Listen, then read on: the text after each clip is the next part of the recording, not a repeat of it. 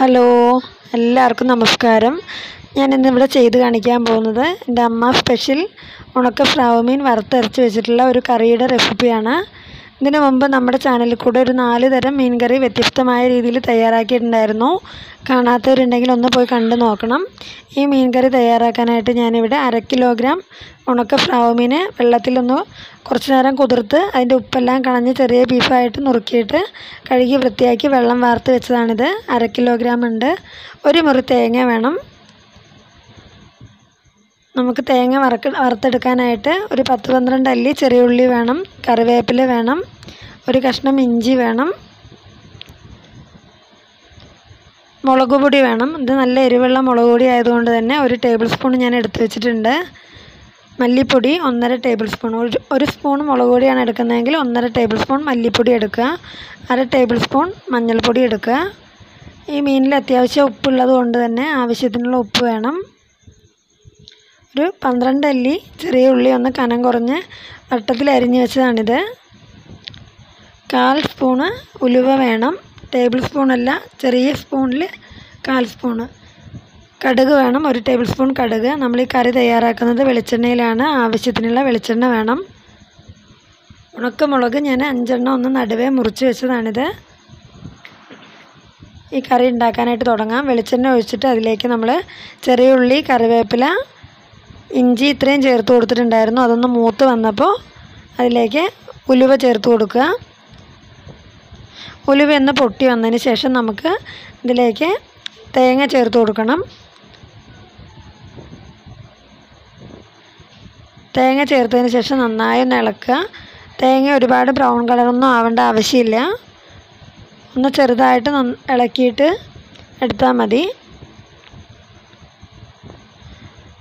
തേങ്ങ ഒന്ന് ചെറുതായിട്ട് മൂത്ത് വരുമ്പോൾ നല്ലൊരു മണം വരും. ആ സമയത്ത് നമ്മൾ എടുത്ത് വെച്ചിരിക്കുന്ന പൊടികളൊക്കെ ചേർത്ത് ആ പൊടിയുടെ പച്ചമണമൊക്കെ ഒന്ന് മാറി വരുന്നത് വരെ നന്നായി നിളക്കുക അതാണ് അതിന്റെ പാകം. ഇതാ തേങ്ങ നന്നായിട്ട് മൂത്ത് നല്ലൊരു മണം വന്നിട്ടുണ്ട്. ഇതിലേക്ക് നമ്മൾ എടുത്ത് വെച്ചിരിക്കുന്ന മുളക് പൊടി ചേർത്ത് കൊടുത്തു. മല്ലിപ്പൊടി ചേർത്ത് കൊടുത്തു. ഇത് രണ്ടും ചേർത്ത് നന്നായിട്ട് വീണ്ടും ഒന്ന് ഇളക്കുക. ഇളക്കിയിട്ട് ആ പൊടിയുടെ ഒന്ന് പച്ചമണം മാറി വരട്ടെ. അതുവരെ ഇളക്കുക. തീ ഒരിക്കലും കൂട്ടി വയ്ക്കാൻ പാടില്ല. ചെറിയ തീയിലാണ് വെച്ചിട്ടുള്ളൂ.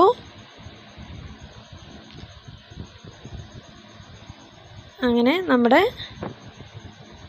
തേങ്ങ ഇവിടെ ഒരുവിധമൊക്കെ നന്നായി മൂത്ത് വരുന്നുണ്ട്. നല്ലൊരു മണം വരും. നമ്മുടെ മുളക് പൊടിയും മല്ലിപ്പൊടിയൊക്കെ മൂക്കുമ്പോൾ നമുക്ക് ചുമയൊക്കെ വരില്ലേ? ആ ഒരു സ്റ്റേജ് ആകുമ്പോൾ നമുക്ക് അടുപ്പ് ഓഫ് ചെയ്തിട്ട് ഇതൊന്ന് തണുക്കാനായിട്ട് മാറ്റി വയ്ക്കാം ഇതാ തേങ്ങ നന്നായിട്ട് മൂത്തിട്ടുണ്ട്. പൊടികളൊക്കെ നന്നായി മൂത്ത് നല്ലൊരു മണം വന്നു. ഈ കറി നമ്മൾ ഇതുപോലെ വറുത്തരച്ച് വെക്കുകയാണെങ്കിൽ നന്നായിട്ട് നമുക്ക് ഒരാഴ്ച വരെ കേടുകൂടാതെ വെക്കാനായിട്ട് പറ്റും. അതൊന്ന് തണുക്കാനായിട്ട് മാറ്റി വെച്ചിട്ടുണ്ടായിരുന്നു. തണുത്തതിന് ശേഷം ഒന്ന് അരച്ചെടുക്കാം. ഞാനിതാ ഇവിടെ മൺചട്ടിയിലാണ് ഈ കറി ഉണ്ടാക്കുന്നത്. അതിലേക്ക് വെളിച്ചെണ്ണ ഒഴിച്ചു കൊടുത്തിട്ടുണ്ട്. വെളിച്ചെണ്ണ ഒഴിച്ചു കൊടുത്തിട്ട് നമുക്കിത് ഇതുപോലെ ഒന്ന് ചുറ്റിച്ചു കൊടുക്കുകയാണെങ്കിൽ നമ്മുടെ മൺചട്ടി ഒന്ന് ചൂടായി വരുമ്പോൾ അതിലേക്കുള്ള ആ പുക മണമൊന്നും നമ്മുടെ കറിയിലേക്ക് വരില്ല. വെളിച്ചെണ്ണ ഒഴിച്ചു കൊടുത്തു. ഒന്ന് ചൂടായി വന്നപ്പോൾ നമ്മൾ എടുത്ത് വെച്ചിരിക്കുന്ന കടുക് ഇട്ട് കൊടുത്തു. കടുകൊന്ന് പൊട്ടി വരട്ടെ. കടുക് പൊട്ടി വന്നിട്ടുണ്ട്. ഇനി എടുത്തു വെച്ചിരിക്കുന്ന ഉണക്കമുളക് കറിവേപ്പില ചേർത്ത് കൊടുക്കുക. കൂടെ തന്നെ നമ്മൾ അരിഞ്ഞ് വെച്ചിരിക്കുന്ന ചെറിയ ഉള്ളി കൂടി ചേർത്ത് കൊടുക്കുക. ഇനി നന്നായിട്ടൊന്ന് വഴറ്റിയെടുക്കണം. ഉണക്കമുളകും കറിവേപ്പിലയും ചെറിയ ഉള്ളിയൊക്കെ നന്നായി ഒന്ന് വഴറ്റിയെടുക്കണം. നമ്മൾ ഈ കറിയിലേക്ക് വെളുത്തുള്ളി തക്കാളി പച്ചമുളക് ഇതൊന്നും ചേർക്കുന്നില്ല. ഇതാ ഉള്ളി ഒന്ന് വഴന്ന് വന്നിട്ടുണ്ടായിരുന്നു. അതിലേക്ക് ഉപ്പ് ചേർത്ത് കൊടുത്തു മഞ്ഞൾപ്പൊടി ചേർത്ത് കൊടുത്തു. മഞ്ഞൾപ്പൊടി കൂടി ചേർത്ത് അതിന്റെ പച്ചമണം ഒന്ന് മാറട്ടെ. മഞ്ഞൾപ്പൊടിയുടെ ആ പച്ചമണം മാറി വന്നിട്ടുണ്ട്. ഇനി നമ്മൾ വാളൻ പുളി വെള്ളമാണ് ഞാൻ ഇതിലേക്ക് ചേർക്കുന്നത്. നിങ്ങൾക്ക് കുടംപുളി ഇഷ്ടമാണെങ്കിൽ കുടംപുളി ചേർത്ത് കൊടുക്കുക അതിലേക്ക്. കുടംപുളിയാണ് ചേർക്കുന്നതെങ്കിൽ വെള്ളം ഒഴിച്ചതിന് ശേഷം ഒന്നോ രണ്ടോ കഷ്ണം പുളിക്കനുസരിച്ചിട്ടുള്ള പുളി ചേർത്ത് കൊടുക്കുക. എന്നിട്ട് നന്നായിട്ട് ഒരു പത്ത് മിനിറ്റ് നേരം ഞാനൊന്ന് അടച്ച് വെച്ചിട്ടുണ്ടായിരുന്നു. പുളി വെള്ളമെല്ലാം നന്നായി തിളച്ച് ആ പച്ച മണമൊക്കെ ഒന്ന് മാറി വന്നപ്പോൾ നമ്മളിതിലേക്ക് അരച്ച് വെച്ചിട്ടുണ്ടായിരുന്നു കേട്ടോ. നല്ല മഷി പോലെ അരച്ചെടുത്താണ് നമ്മൾ വറുത്ത് വെച്ച തേങ്ങ. ആ അരപ്പ് ഇതിലേക്ക് പുളിവെള്ളത്തിലേക്ക് ചേർത്ത് നന്നായിട്ടൊന്ന് ഇളക്കിയെടുക്കുക. നമ്മുടെ കറിക്ക് എത്ര കട്ടിയാണോ ആവശ്യം അതുവരെ അത്രയും ഗ്രേവി ആക്കിയിട്ട് നന്നായി ഒന്ന് ഇളക്കിയെടുക്കണം. ഇനി ഈ ഗ്രേവിയിലേക്ക് നമ്മളിപ്പോൾ തന്നെ നമ്മളെടുത്ത് വെച്ചിരിക്കുന്ന ഫ്രാവ് മീൻ ഇതിലേക്ക് ഇട്ട് കൊടുക്കുക. ഞാനിവിടെ അര കിലോ ഫ്രാവിന്റെ അളവാണ് ഞാൻ പറയണത്. നിങ്ങളുടെ കയ്യിൽ കൂട്ട കൂടുതലുണ്ടെങ്കിൽ കൂട്ടിയെടുക്കുക. കുറവാണെങ്കിൽ കുറച്ചെടുക്കുക. ആ മീൻ ഇതിലേക്ക് ചേർത്ത് കൊടുക്കുക. നമുക്ക് കുറച്ച് കൂടുതൽ സമയം നമ്മൾ മീൻ ക്ലീൻ ചെയ്തതിന് ശേഷം വെള്ളത്തിലിട്ട് വെക്കുകയാണെങ്കിൽ അതിൽ ഉപ്പൊക്കെ ഒന്ന് പോയി കിട്ടാൻ നല്ലതാണ്.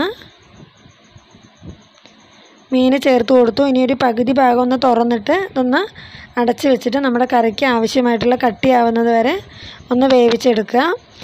അതിന്റെ ഇടയിൽ ഞാൻ ഒന്ന് രണ്ട് പ്രാവശ്യം ഒന്ന് ചുറ്റിച്ച് കൊടുത്തിട്ടുണ്ടായിരുന്നു. ഇളക്കാൻ പാടില്ല. മീനെല്ലാം പൊടിഞ്ഞു പോവും. ഒന്ന് രണ്ട് പ്രാവശ്യം ചുറ്റിച്ച് കൊടുത്തിട്ടുണ്ടായിരുന്നു. ഇനി പതുക്കെ ഒന്ന് ഇളക്കുക. ഇതാ കറി ഒന്ന് കുറുകി വന്നിട്ടുണ്ട്. ഇനി ഒരുപാടൊന്നും കുറുകി വരേണ്ട ആവശ്യമില്ല. എനിക്ക് ഇത്ര ഇത്ര മതി. ഇതാ അടുപ്പ് ഓഫ് ചെയ്തിട്ടുണ്ടായിരുന്നു. ഇനി ഇതിലേക്ക് കുറച്ച് പച്ച വെളിച്ചെണ്ണ ഒഴിച്ചു കൊടുക്കുക. കൂടെ തന്നെ കറിവേപ്പില ചേർത്ത് കൊടുക്കുക. വെളിച്ചെണ്ണയും കറിവേപ്പിലയും ചേർത്ത് കൊടുത്തു. ഇനി ഒരു അടപ്പ് വെച്ച ശേഷം അനക്കാതെ വെച്ച് കൊടുക്കുക. അതൊന്ന് തണുക്കാനായിട്ട് ഞാൻ മാറ്റി വെച്ചിട്ടുണ്ടായിരുന്നു. ഇതാ. നമ്മുടെ കറി ഇവിടെ റെഡി ആയിട്ടുണ്ട്. ഇത് ചോറിന്റെ കൂടെയാണ് ഏറ്റവും നല്ല കോമ്പിനേഷൻ എല്ലാവരും ഒന്ന് ചെയ്ത് നോക്കണം. ഞാൻ എപ്പോഴും പറയുന്നത് പോലെ എന്റെ ചാനൽ ആദ്യമായിട്ട് കാണുന്നവരാണെങ്കിൽ ഒന്ന് സബ്സ്ക്രൈബ് ചെയ്യണം ലൈക്ക് ചെയ്യണം ഷെയർ ചെയ്യണം. അപ്പോൾ ഇതുപോലെ നല്ലൊരു വീഡിയോ ആയിട്ട് നമുക്കിനി വീണ്ടും കാണാം. എല്ലാവർക്കും നന്ദി നമസ്കാരം.